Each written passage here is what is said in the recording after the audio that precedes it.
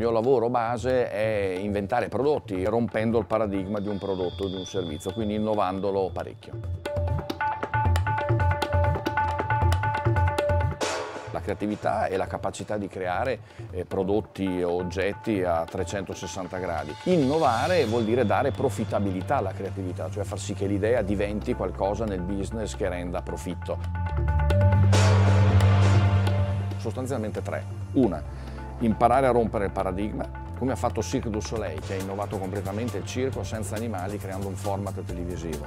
Due, lavorando diciamo, sostanzialmente sui paradossi, cioè cercando le cose assurde all'interno di un prodotto o di un servizio concentrandosi sulle grandezze inversamente proporzionali. È un ottimo stimolo per innovare. Esempio, eh, mettere 8.000 persone in uno spazio dove ce ne stanno 500. Apparentemente è impossibile, però magari a turno è possibile farlo nell'arco di una giornata.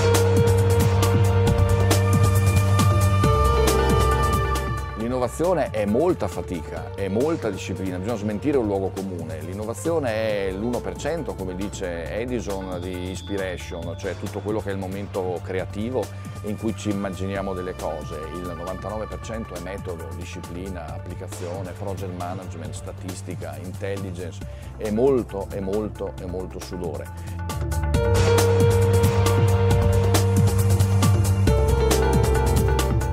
Secondo me è più innovativa l'anomalia perché mi incuriosisce di più. Il paradigma è uno stereotipo, quindi è una cosa a cui sempre siamo abituati e che sostanzialmente ci stimola poco. Ci viviamo dentro, ci siamo immersi e ci abituiamo tutti quanti. Siamo a Milano e c'è molto traffico, ok? È un paradigma, lo sappiamo tutti per arrivare qua. La creatività vera è sempre nelle periferie, è all'orlo dell'ordine e del caos, non è mai nei centri delle cose, è sempre nelle filiali, è sempre dove c'è il mercato, è sempre dal cliente, non è nella casa madre. L'anomalia in azienda potrebbe essere, eh, secondo me, eh, far sì che le idee nascano dal basso. lo spiego con un altro piccolo claim. Eh, questa piccola clessidra che come vedete misura il tempo dal basso in alto che apparentemente è qualcosa di non logico. la uso per spiegare un concetto base che la creatività e le idee viene dal basso. La musica come modello di gestione intelligente ed efficace dell'improvvisazione perché oggi l'azienda mm, non può avere piani da qua a vent'anni, deve saper gestire il breve e il medio termine con intelligenza. Il jazz è la musica e ne è una metafora più interessante. La musica classica è la gestione dei talenti in un ordine rigoroso, rigido e metodologico, pur con altissima espressività.